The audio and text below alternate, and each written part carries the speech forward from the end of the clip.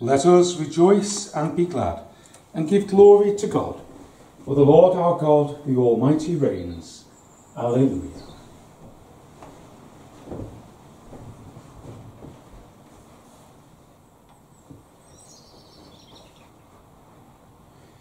In the name of the Father, and of the Son, and of the Holy Spirit. Amen. The Lord be with you. Today on our Easter journey, we also celebrate one of our saints. Today is the feast day of St. Anselm, an Archbishop of Canterbury in the 11th century, who is remembered the whole church over for his writings, his philosophy, his looking into the mystery of God and trying to find ways of explaining that mystery so that others could understand. We'll hear more about St Anselm later on, but one of his most important teachings was that it is faith that comes first, faith that leads to understanding. And in this Easter season, we're thinking of that gift of faith given by the resurrection of Jesus and the sending of the Holy Spirit. We'll hear how that faith is put into action in the lives of the first followers of Jesus and we hear Jesus himself talking again to Nicodemus about believing in him as one sent by God.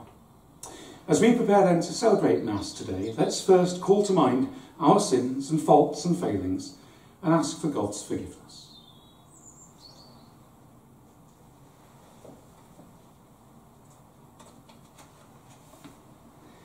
I confess to Almighty God and to you, my brothers and sisters, that I have greatly sinned in my thoughts and in my words, in what I have done and in what I have failed to do, through my fault, through my fault, through my most grievous fault.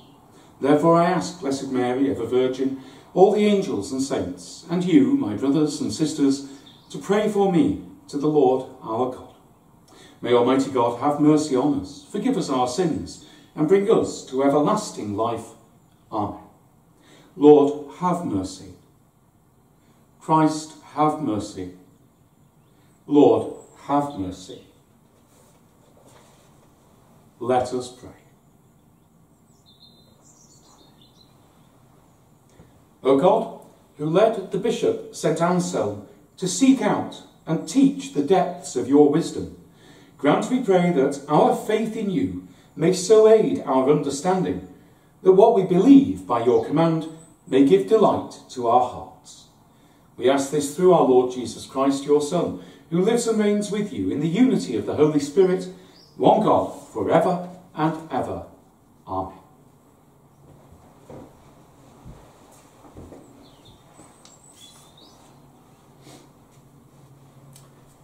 A reading from the Acts of the Apostles. The whole group of believers was united, heart and soul. No one claimed for his own use anything that he had as everything they owned was held in common. The apostles continued to testify to the resurrection of the Lord Jesus with great power, and they were all given great respect. None of their members was ever in want, as all those who owned land or houses would sell them and bring the money from them to present it to the apostles. It was then distributed to any members who might be in need. There was a Levite of Cypriot origin called Joseph, whom the apostles surnamed Barnabas, which means son of encouragement. He owned a piece of land, and he sold it and brought the money and presented it to the apostles. The word of the Lord. Thanks be to God. The Lord is King, with majesty enrobed. The Lord is King, with majesty enrobed. The Lord has robed himself with might. He has girded himself with power. The Lord is King, with majesty enrobed. The world you made firm, not to be moved. Your throne has stood firm from of old. From all eternity, O Lord, you are. The Lord is King, with majesty enrobed.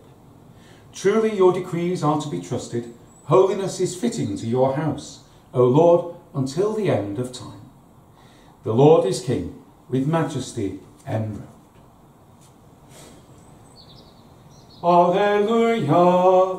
Alleluia, Alleluia. Alleluia. You, O Christ, are the faithful witness, the firstborn from the dead. You have loved us and have washed away our sins with your blood. Alleluia. Alleluia. Alleluia. The Lord be with you. A reading from the Holy Gospel according to John. Jesus said to Nicodemus, Do not be surprised when I say, You must be born from above. The wind blows wherever it pleases, you hear its sound, but you cannot tell where it comes from or where it is going. That is how it is with all who are born of the Spirit. How can that be possible? asked Nicodemus. You, a teacher in Israel, and you do not know these things, replied Jesus. I tell you most solemnly, we speak only about what we know, and witness only to what we have seen, and yet you people reject our evidence. If you do not believe me when I speak about things in this world, how are you going to believe me when I speak to you about heavenly things? No one has gone up to heaven except the one who came down from heaven, the Son of Man who is in heaven. And the Son of Man must be lifted up, as Moses lifted up the serpent in the desert, so that everyone who believes may have eternal life in him. The Gospel of the Lord. Praise to you, Lord Jesus Christ.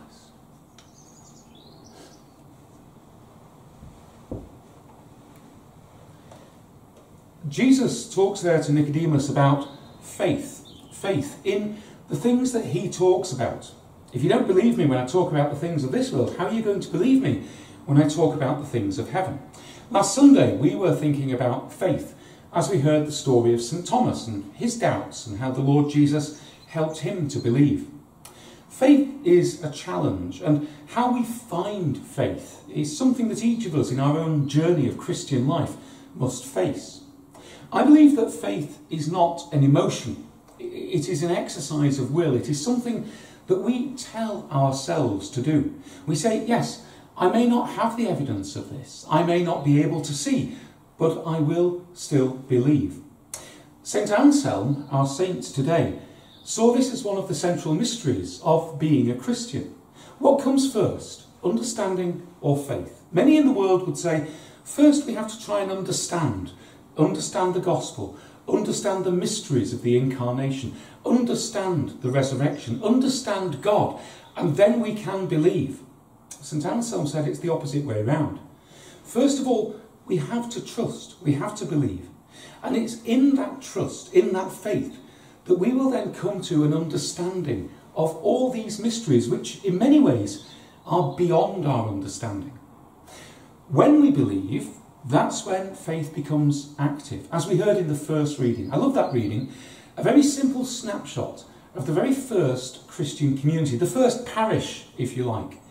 A group of people united heart and soul, and united in practical things as well. If they had land or property, actually selling this so that it could be of benefit to the other members of the community who were poorer. And we heard the example of someone we'll be hearing a lot of in the Acts of the Apostles, St. Barnabas, selling a field and bringing the money to the apostles so that it could help others. Why would you do such a thing? Because you believe. In our world today, we see many examples of people whose faith leads them to generosity. It leads them to acts of sacrifice, even to acts of heroism. And we're not just talking about the religious sphere here, but that's our concern. To make sure that our faith, our trust, can lead us to an understanding of the mysteries of our faith that can then lead to action. Let me just end with some words written by St. Anselm himself almost a thousand years ago when he was Archbishop of Canterbury in a book he wrote called the Proslogion. You, God, are supreme and inaccessible light, a whole and blessed truth.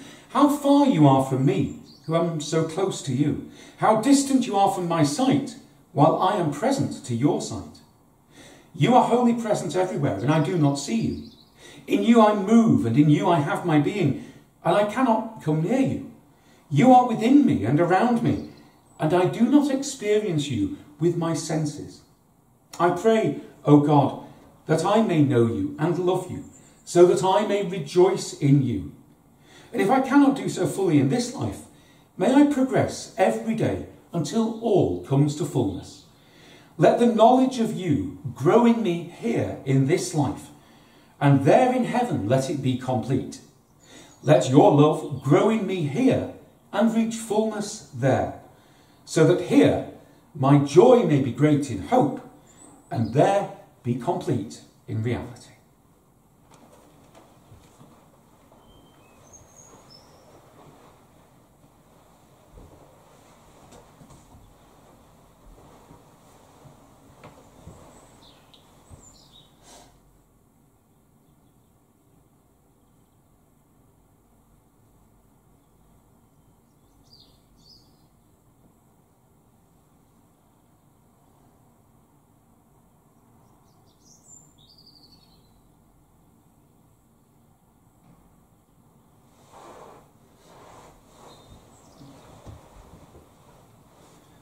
Let us think of our prayers at Mass today.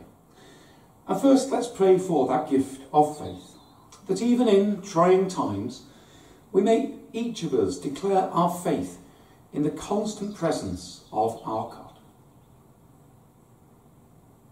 Lord, in your mercy, hear our prayer. And on this feast of St. Anselm, let us pray for all Christian teachers, for all leaders, for all who seek to explain the mysteries of our faith and by their own faith come to deeper understanding. Lord, in your mercy, hear our prayer. And for a moment, let's think of our own private intentions at Mass this morning.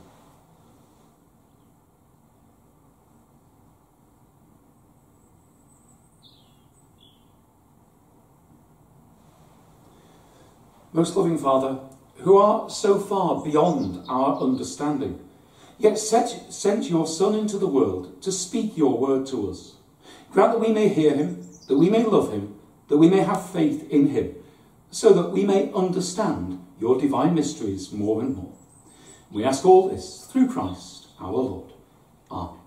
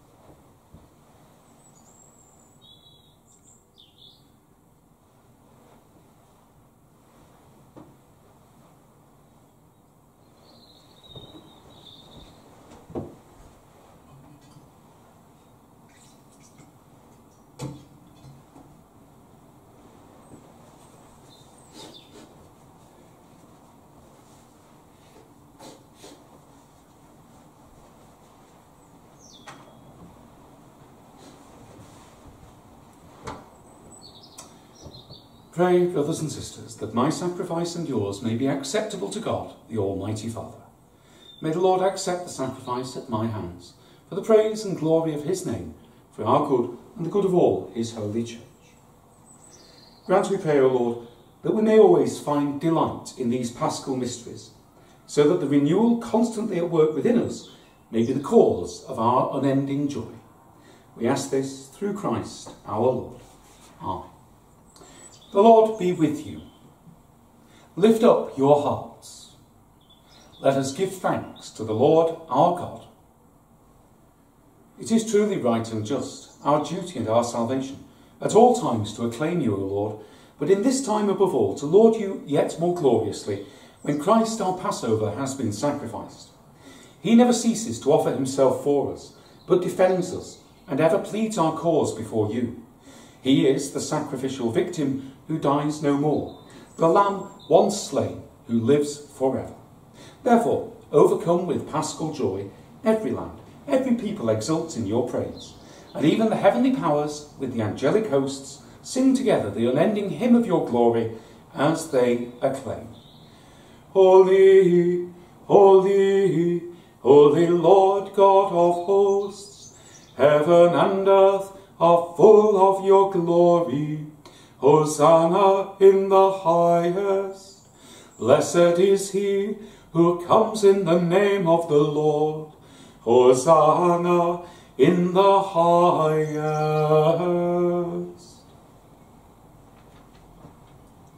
You are indeed holy, O Lord, and all you have created rightly gives you praise.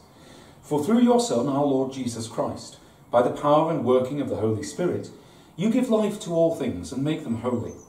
And you never cease to gather a people to yourself, so that from the rising of the sun to its setting, a pure sacrifice may be offered to your name. Therefore, O Lord, we humbly implore you, by the same Spirit, graciously make holy these gifts we have brought to you for consecration, that they may become the body and blood of your Son, our Lord Jesus Christ, at whose command we celebrate these mysteries. From the night he was betrayed, he himself took bread, and giving you thanks, he said the blessing, broke the bread, and gave it to his disciples, saying, Take this, all of you, and eat of it. For this is my body, which will be given up for you.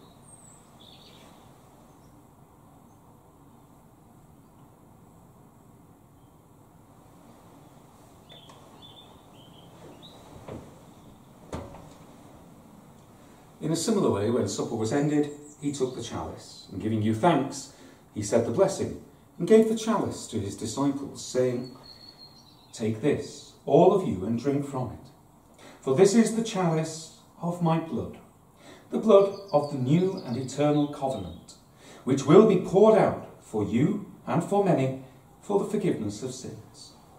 Do this in memory of me.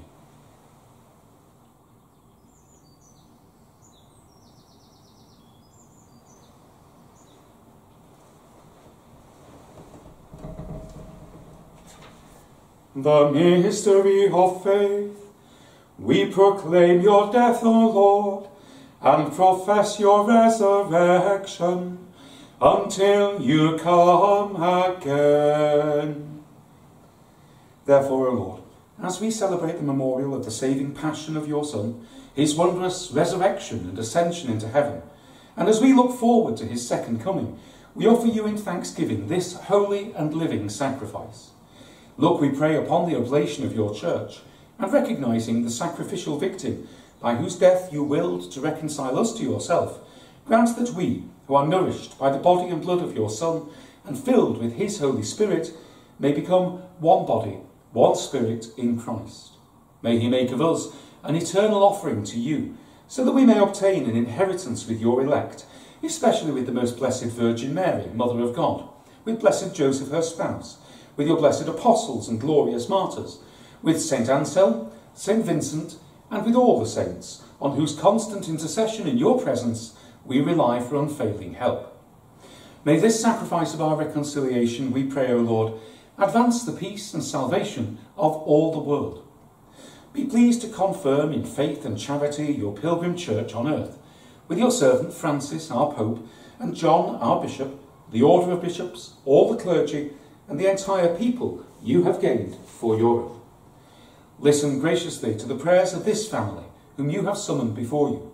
In your compassion, O merciful Father, gather to yourself all your children scattered throughout the world. To our departed brothers and sisters, and to all who were pleasing to you at their passing from this life, give kind admittance to your kingdom. There we hope to enjoy forever the fullness of your glory through Christ our Lord, through whom you bestow on the world all that is good. Through him and with him and in him, O God, Almighty Father, in the unity of the Holy Spirit, all glory and honour is yours forever and ever. Amen.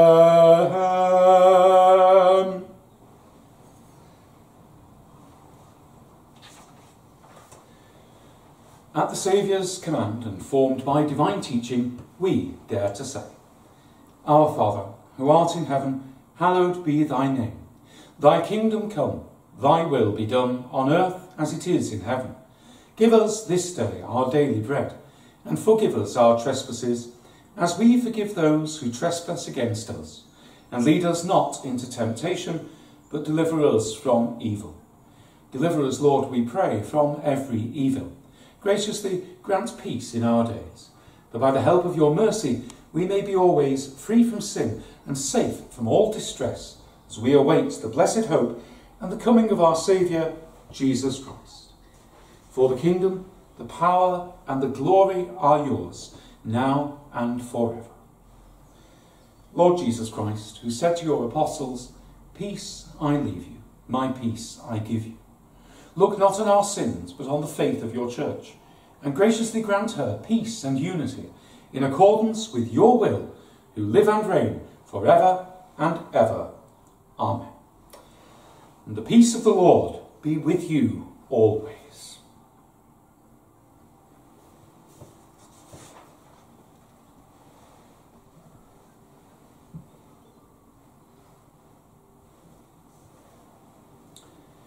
Lamb of God, you take away the sins of the world, have mercy on us. Lamb of God, you take away the sins of the world, have mercy on us. Lamb of God, you take away the sins of the world, grant us peace.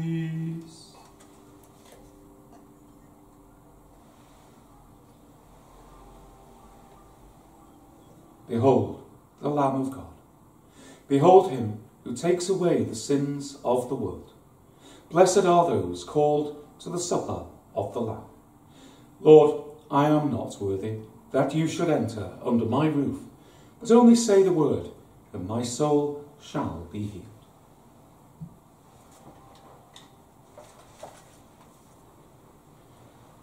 The Christ had to suffer and rise from the dead, and so enter into his glory.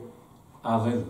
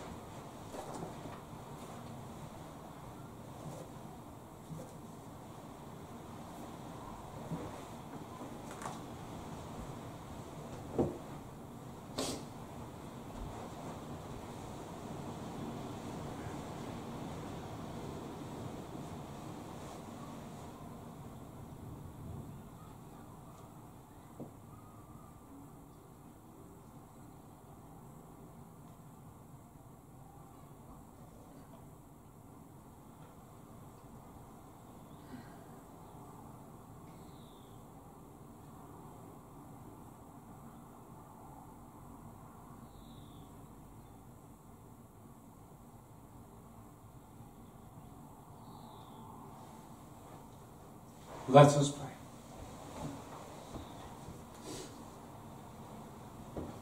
Hear, O Lord, our prayers, that this most holy exchange by which you have redeemed us may bring us your help in this present life and ensure for us eternal gladness. We ask this through Christ our Lord. Amen. The Lord be with you. May Almighty God bless you, the Father, and the Son, and the Holy Spirit. Amen. Let us bless the Lord. Thanks be to God. Regina Caeli, laetare, Alleluia.